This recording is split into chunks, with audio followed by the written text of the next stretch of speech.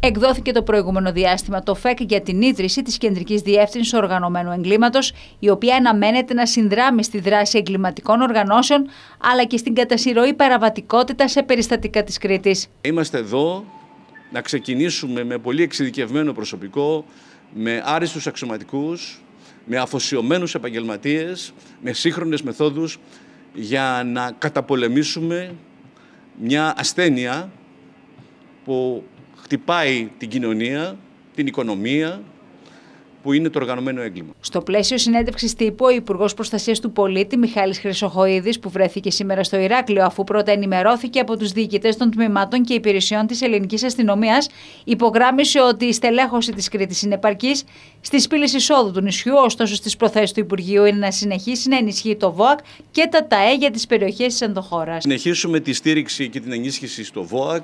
Θα συνεχίσουμε τη στήριξη και θα αυξήσουμε τη στήριξη και την ενίσχυση των ΤΑΕ στα Ανόγια και το Μιλοπόταμο, στη Μεσαρά και όπου αλλού απαιτείται. Και θα δούμε με τις τακτικές μεταθέσεις πόσο προσωπικό μπορούμε να μεταφέρουμε στην Κρήτη, αλλά η Κρήτη πραγματικά έχει έναν επαρκή αριθμό και πιστεύω ότι αυτό που χρειάζεται κυρίως και θα συμφωνήσω μαζί σας είναι η ανανέωση σιγά σιγά του προσωπικού. Ερωτηθείς ο κ. Χρυσοχοίδης για τις υποθέσεις ενδοοικογενειακής βίας, ανέφερε ότι στα αρμόδια γραφεία που λειτουργούν και στους τέσσερις νομού πλέον του νησιού έχουν συλληφθεί εκατοντάδες κακοποιητές, ενώ εξήρε το έργο των στελεχών της Ελλάδα για την άμεση ανταπόκριση εξέβρεση σπιτιών γνωστών και ως safe houses. Στην ε, Κρήτη, το πρώτο πεντάμινο του 2024, έχουμε 500 περιστατικά, 498 για την ακρίβεια.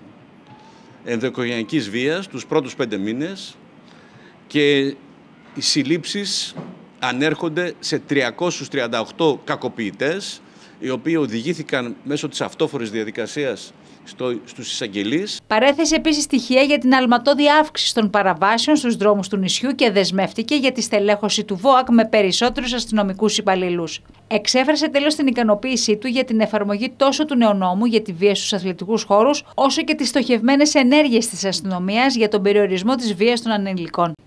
Αναφορικά με τη νέα νομοθεσία στα γήπεδα, τόνισε ότι ο στόχος να απομακρυνθούν τα μέλη των εγκληματικών οργανώσεων και να απολαμβάνουν οι φίλαθλοι με τις οικογένειές τους στις αθλητικές διοργανώσεις αρχίζει να επιτυγχάνεται. Ενώ και οι περιπολίες της Ελλάδα στα σημεία συγκέντρωσης της νεολαίας, σύμφωνα με τα στοιχεία του Υπουργού, αρχίζουν να αποδίδουν καρπούς, αφού έχει μειωθεί η παραβατικότητα των ανήλικων κατά 20%.